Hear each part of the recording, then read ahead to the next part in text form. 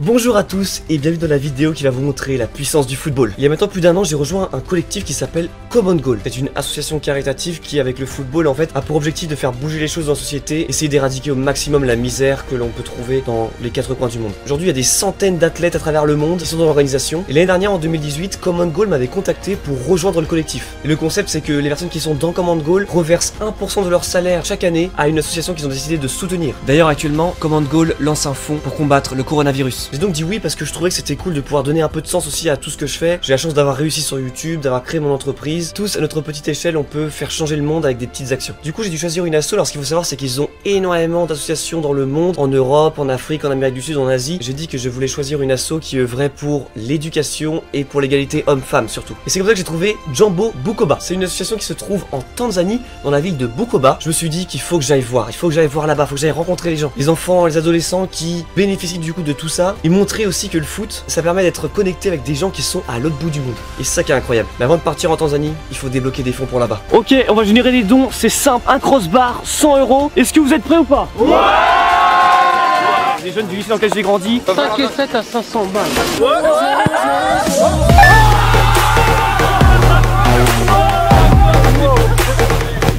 Il est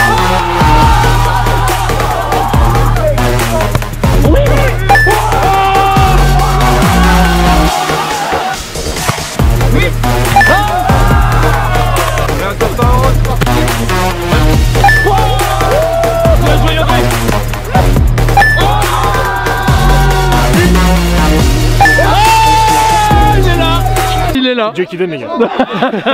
Merci beaucoup, on pourra s'applaudir. Merci. On est arrivé au Kenya à Nairobi. C'est un long voyage pour arriver à destination à Bukoba. Là, on a trois vols à prendre. Donc on va à Nairobi, ensuite on va à Dar es Salaam et ensuite on va à Bukoba. On part finalement sur Mars. Vous êtes prêts Tout le monde est armé? 2, 1.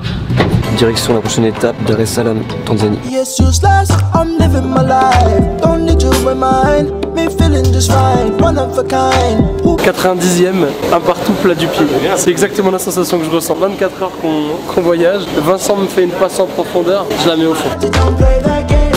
Il faut qu'on récupère le guide parce qu'on ne sait pas où il faut aller et comment sans connexion internet. Et là on voit qu'on est dépendant. Est-ce que c'est bien pas bien? Dans les commentaires on débat. On a commencé notre voyage en allant rendre visite à une famille tanzanienne. I would like really to, to see people and to see what really happens, the consequences of the help, uh, donations. La fille que vous voyez là, elle s'appelle Liberata. Elle joue dans l'équipe féminine de la ville de Bukoba. Et elle a vraiment un bon niveau. Vous allez la revoir un peu plus tard. Et là, c'est sa mère. Shakula Kitamu Sana. It's okay? La famille nous a montré un petit peu comment elle vivait. Ils nous ont montré la cuisine qui est d'ailleurs à l'extérieur de la maison, dans un abri. Et pour aller aux toilettes, il faut s'éloigner un peu en marchant. Ça nous a paru assez fou par rapport à nos conditions de vie ici en France. Et ensuite, on est parti au stade pour parler et jouer avec l'équipe féminine. J'ai beaucoup dit merci, c'est Asante, c'est en Swahili. Parce que Swahili c'est la langue locale et après la deuxième langue c'est l'anglais ici.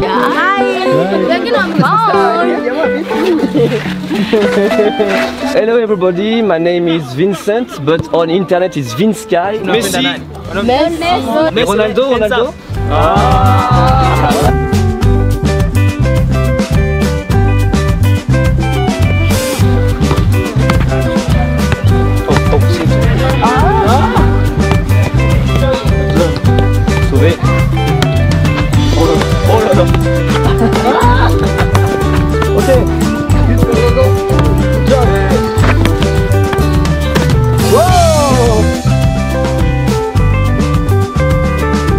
Qui se présente face à Romain, donc je savais pas du tout. Ok. Du coup, c'est les nouvelles recrues du KFC, ça Euh, bah on repère un peu aussi.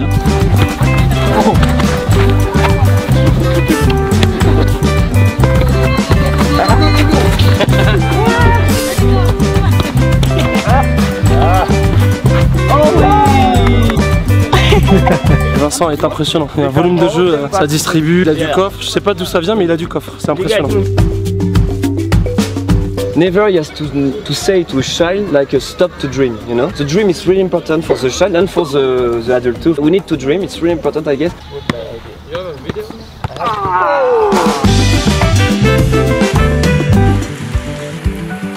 Va aller euh, voir un projet que Jean Bukoba soutient, c'est le fait euh, de travailler sur des sanitaires dans une école parce qu'en fait euh, ça peut aussi faire sourire peut-être quand on est loin, nous en France, mais en tous les cas, tout ce qui est lié aux sanitaires dans le monde entier, dans les pays en développement, c'est très très très important de travailler là-dessus pour pas que la maladie ne se développe. On s'est rendu dans le district de Karagwe, environ à 2 heures de Bukoba, pour rencontrer les dirigeants là-bas. On y a été avec Clemens, le fondateur de Jumbo Bukoba, et toute son équipe.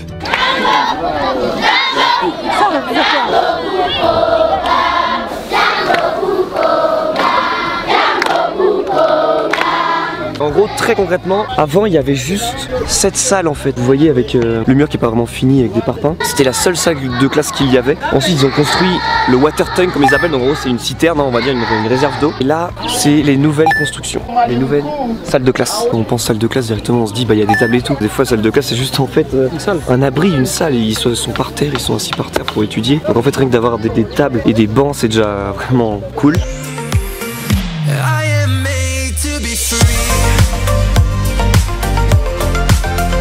Là, on est dans une des classes qui disait c'est que c'est une classe très moderne entre guillemets parce que déjà il y a de l'électricité, des fenêtres aussi, des choses qui sont basiques pour nous ne le sont pas ici. Il y a plusieurs écoles hein, que Jean Bukoba soutient, il n'y a pas que celle-ci.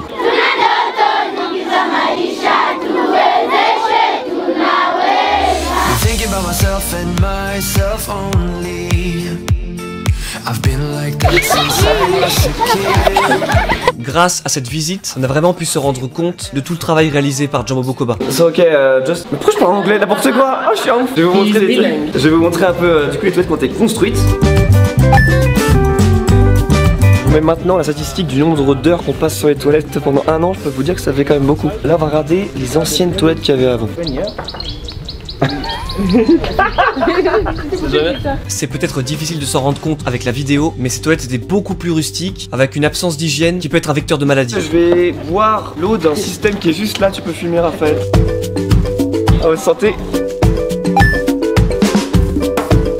Peu comme de l'évian. On a été accueillis par les élèves, par des musiques et des danses locales. Et là, vous pouvez voir à l'écran l'équipe tanzanienne qui travaille pour Jambo Bukoba au quotidien. Parce que comme j'ai précisé en début de vidéo, l'association est allemande. Avec l'argent qu'on a récolté grâce au Crossbar Challenge à Magnanville, on a du coup un bon budget. Et en fait, dans ce budget-là, j'ai pris euh, environ 300 euros. C'est euh, 157 euros x 2. En TSH, ça fait 800 000 TSH. On va aller acheter le plus de fournitures possible. Alors bien sûr, on a quand même euh, cette voiture qui est limitée en espace. Donc on peut pas non plus prendre un camion entier. On va prendre beaucoup de cahiers, de, de- de stylos, voilà, tout ce qui peut être intéressant pour les élèves. Et on va aller l'amener à une école.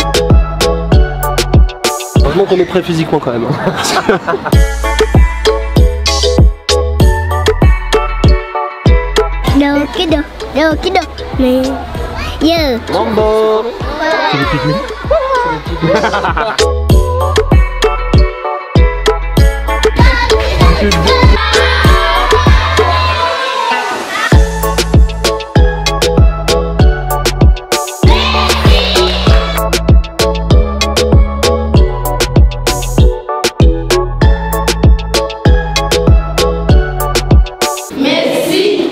De rien. C'est difficile à expliquer la sensation que c'est. Enfin, ils sont heureux avec un cahier, un stylo. C'est vraiment. Genre, j'avoue, je sais pas. Je sais pas quoi dire. Je suis un peu. Ça a vraiment été une expérience incroyable de voir à quel point ils étaient heureux de recevoir juste un cahier et un stylo. Et là, dans la dernière classe, bah, on a tout donné. Le reste, parce qu'en fait, il n'y avait pas exactement 400 élèves, mais 360, des choses comme ça. On va donner euh, le reste à l'école pour qu'ils puissent avoir un stock pour l'année.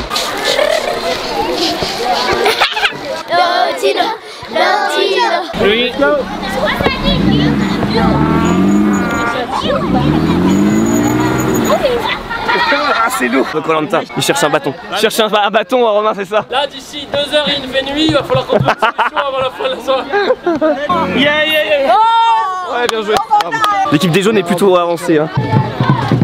Hello Grand soleil aujourd'hui pour un petit événement. Là-bas, il y a environ 100 élèves qui vont s'affronter dans des épreuves. Alors le truc, c'est qu'on ne sait pas quelles sont ces épreuves. Et en plus, j'avais cru comprendre qu'ils voulaient qu'on participe. Alors on ne pouvait pas préparer. Moi, physiquement, ça se trouve, je vais me faire un claquage, je vais rien comprendre. J'ai entendu juste qu'il y avait peut-être de la danse et de la musique.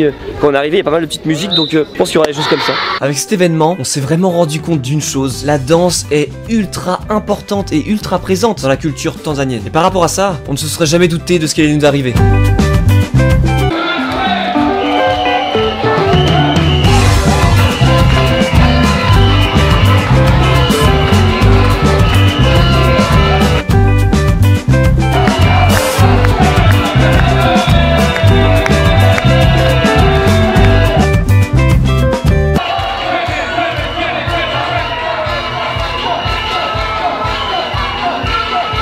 C'était vraiment génial, c'est que personne ne juge personne. Du coup, on se prend facilement au jeu, ça libère tout le monde, et du coup, bah, tout le monde danse quoi. On se dirige à l'événement de l'année, et pour le coup, c'est vrai pour les jeunes, parce que c'est l'événement Bonanza. Pour faire très simple, en septembre, octobre, novembre, tous les ans, il y a des qualifications en fait entre les écoles pour voir qui va en finale, et aujourd'hui, c'est la finale. Donc, ouais, c'est des écoles qui s'affrontent dans des mini-jeux, un peu comme des Olympiades. Notre ami Romain avait trouvé le bon mot, le bon terme. Petites Olympiades, voilà, c'est un petit mélange de mini-jeux sans pousser non plus la compétition à son max. L'école gagnante en fait euh, des travaux entre dans leur école, donc ça peut être euh, construire une nouvelle classe ou des choses comme ça. Du coup, ça avait quand même un petit peu de compétition parce que t'as quand même envie de gagner pour faire plaisir à ton école. Tu vois, c'est la fierté aussi.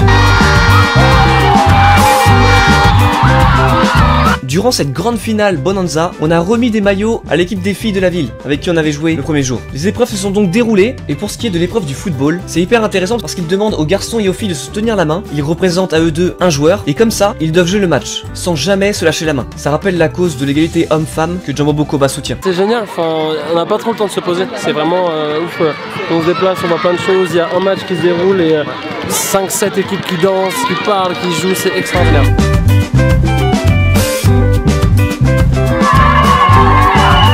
Quand on a rencontré les filles du premier jour, on a pu voir que les chaussures c'était pas trop ça. Il y avait beaucoup de chaussures qui étaient de, de faible qualité. L'objectif c'est qu'elles aient des chaussures dignes de snow. On va retirer de l'argent parce qu'en fait ici c'est pas possible de trouver des chaussures. En fait il n'y a pas de chaussures de foot euh, ici. Ils font une commande avec une boutique qui se trouve en Ouganda. Là on est vraiment à la frontière de l'Ouganda, c'est vraiment pas loin du tout. Il y a environ une quarantaine de paires à commander et comme ça au moins elles seront bien. Bon je serai pas là pour le voir mais ils ont filmé, je leur ai demandé de filmer, m'envoyer la vidéo donc euh, check ça. Vicente, tumependeza sana. Bienvenue au marché de Bukoba. Ça, ça va sauver le monde parce qu'en fait la viande c'est trop polluant. Et ça tu peux en faire beaucoup, c'est pas cher et ça demande beaucoup d'énergie à créer. quoi. Ah bah vas-y, bah mets dans ta bouche alors. Il est en train de me dire que ça va sauver le monde. Hum, c'est vraiment bon. Ah, c'est vrai, on dirait des chips. Romain goûte.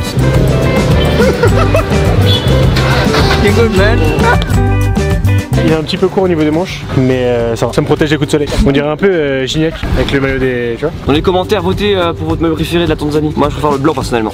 Que c'est le tien. Après 4 jours passés sur place, il était temps de rentrer à Paris.